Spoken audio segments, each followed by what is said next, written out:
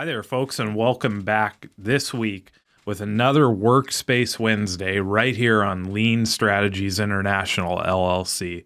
Now, before we get started, if you'd like more tips on Google Workspace, please hit the like button, subscribe, and hit that bell notification so every week you can be updated with the latest videos in supply chain, operations, Google Workspace, and just general tips for you to learn and grow on your continuous improvement journey.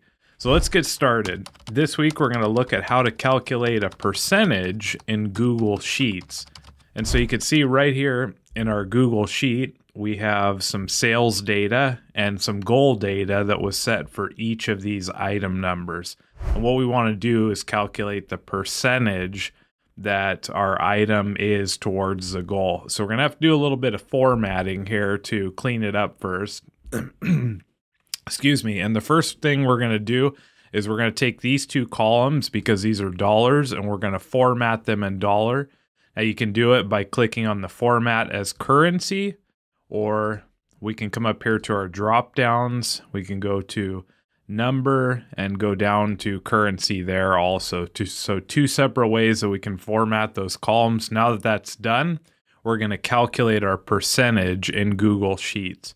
So the way that we do that, and let's just give it a label here, real quick, percent to goal, is we're going to hit the equal sign.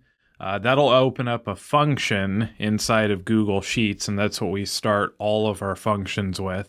Uh, and then you can see that it's going to give us a suggestion here. It's uh, Google Sheets is guessing that we want to divide B2 by C2, which is exactly what we wanted to do. So very intuitive, and in this case, it's correct. But we're going to go ahead and manually select it. We're going to hit B2, and then you're going to use the forward slash or divide by C2, and we can type that one in. Then we'll hit enter. and you can see right there, it'll give us 0.2 and then it's going to want to uh, auto populate all of the rest of them because it's guessing that we want to calculate the same thing for all of them.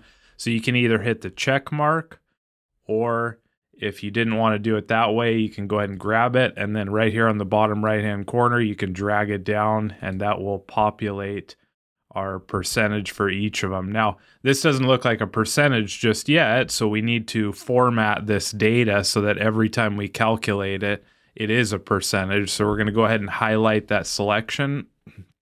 And remember, we can format this two different ways. We can come right up here to our shortcut.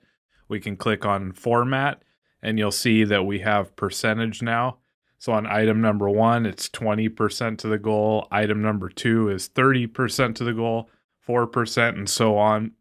Or if we want to do it another way, we can come up here to format, click our drop down, we can go to number, it'll open up some more options, and we can scroll right down to percent, and that'll also give us our percentage.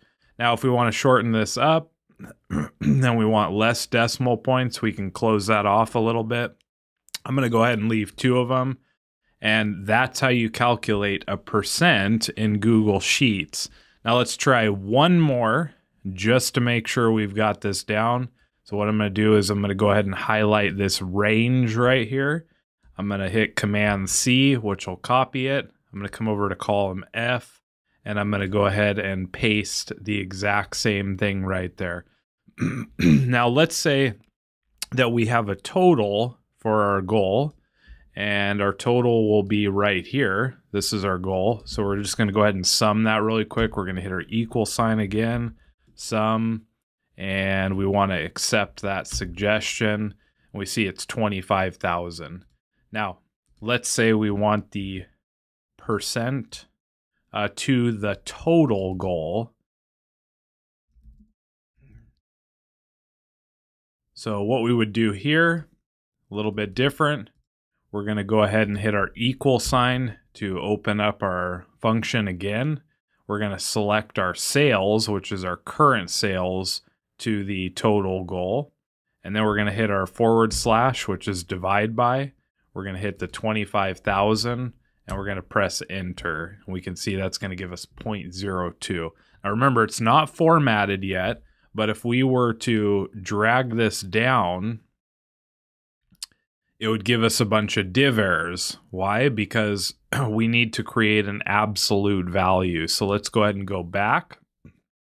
What we're going to do is open that up. We can come right up here. Now, the one that we need to stay uh, or make into an absolute value is H12. So the way that we do that is we put a dollar sign in between each of these. We're going to hit enter and we can accept this suggestion. I'm going to go ahead and X out though because we don't want the total one. And that will give us our percentage there. Now let's try formatting it again. So we're going to select this range and we can hit percent. Or if we wanted to do it another way, we can hit format and we can go to number and then we can go to percentage. And so we can see that item number one is 2% of the overall goal. Item number two is 3% of the overall goal.